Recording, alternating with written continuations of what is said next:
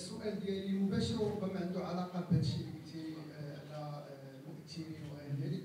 كنا شفنا مؤخرا المشاركة ديالك في الأيام الثقافية المغربية في الكويت واليوم أيضا تنشوفوا الحضور ديالك في موازين السؤال ديالي آه، هو كيفاش قدرات لطيفة رأفت أو بالاحرى شنو الاستراتيجية ديالك اللي خلاتك تحافظي على الحضور القوي ديالك في الساحة برغم الضغوطات الإعلامية والقضائيه وهادشي ال social media وكل شيء.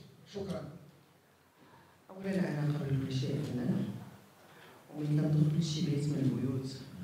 وكنظهر في أي شاشة.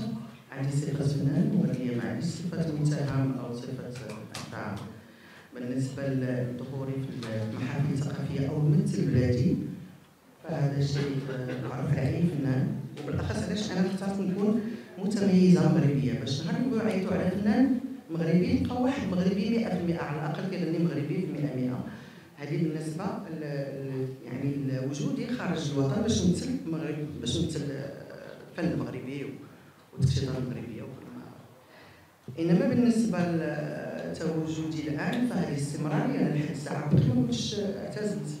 باقي ما اعلنتش على الوقوف ديالي.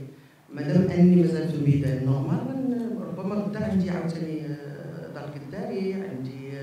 الاكادير فالاستمراريه إما غنوقف وإما غادي نكمل لو كنت غنكمل غتشوفني في جميع المحافل.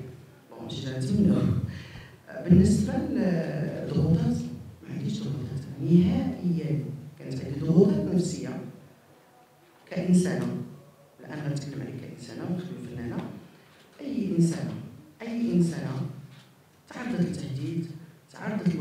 ف normal بالأخص إذا كانت مراه وبالاخص إذا كانت قبل بوحدها والان مع بنتها normal غنخاف على راسي normal يكون عندي ضغوطات نفسية تخوف فاول قبل كل شيء ما نكون فنانة أنا أنا مرأة. ضعيفة جدا لأنني فنان. والفنان ما أضعف يعني الاحساس الفنان هو شيء رهيب جدا. عنده عنده ناس يحبوه عنده أنا غنقول لك ما أثرش عليا أي حاجة كتقال في ال social media. لأنه إلا جيت تأثر عليك داكشي في ال social media راه ما تفيش يعني كما قلت قبيلة كاين كيهضر ما تعرفش شنو كاين. لكن الضغوطات اللي كانت عندي كانت عندي كأي مواطنة كيف ما بغى يكون نوعها غادي تعرض للتهديد غتعرض وشي حاجة اللي عمرها عشتها. فأكيد غيكون عندها ضغوطات. أه ما كأثرتش عليا فنيا لأن الجمهور اللي كيبغيني أه بغيني نكمل. ماشي بغيني مجرد ان وقع شي حاجة غنوقف قضائيا فانا مواطنه مغربيه ولي الحق في التقاضي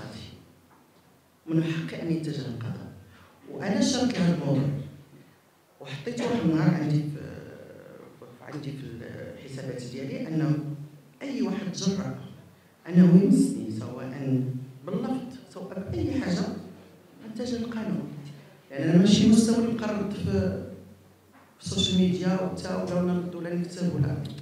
عندنا قانون الحمد لله. كنتبه دوله الحق والقانون عندنا الحمد لله مؤسسات قايمين بالواجب والقانون كياخذ مجراه في أي حاجة هذا هو اهم شيء.